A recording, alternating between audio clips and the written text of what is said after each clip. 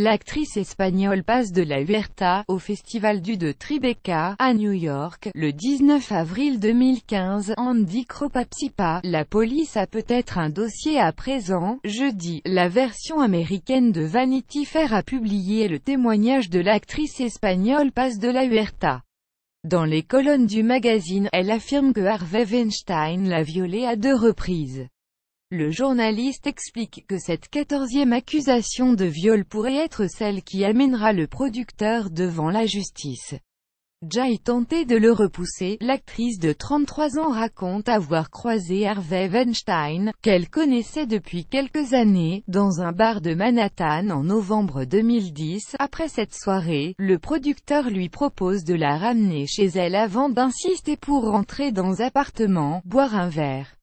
Une fois chez elle, le malaise s'est vite installé, précise passe de la Huerta, dès que l'on est rentré à l'intérieur, il a commencé à m'embrasser et Jai tenté de le repousser, le producteur ne s'est pourtant pas arrêté là. Il m'a poussé sur le lit, pantalon était baissé et il a relevé ma jupe, ajoute l'actrice. Jai eut peur, je n'étais pas consentante.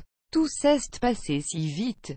Il m'a violé et après coup, il m'a dit qu'il m'appellerait, et le traumatisme ne s'arrête pas là, parce que, selon Passe de la Huerta, Harvey Weinstein a récidivé un mois après.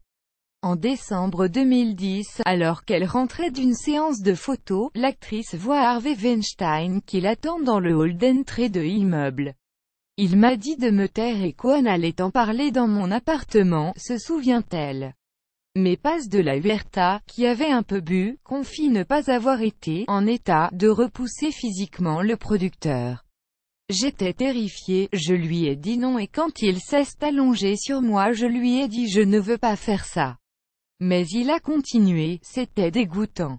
C'est un porc, il m'a violé, accuse-t-elle des abus sexuels présumés sur 94 femmes. Ces nouvelles accusations permettent au procureur de Manhattan d'étudier la possibilité d'engager des poursuites pour viol, selon la chaîne américaine CBS qui assure également qu'un procureur expérimenté dans les crimes sexuels s'est vu attribuer le dossier. Une enquête qui pourrait permettre aux 94 femmes qui ont dit avoir subi des abus sexuels, dont 14 affirment avoir été violées, de voir Harvey Weinstein être présenté à la justice.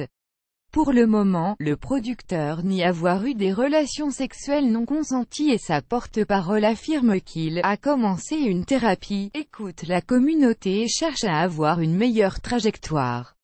Il espère que, s'il fait assez de progrès, il aura une seconde chance.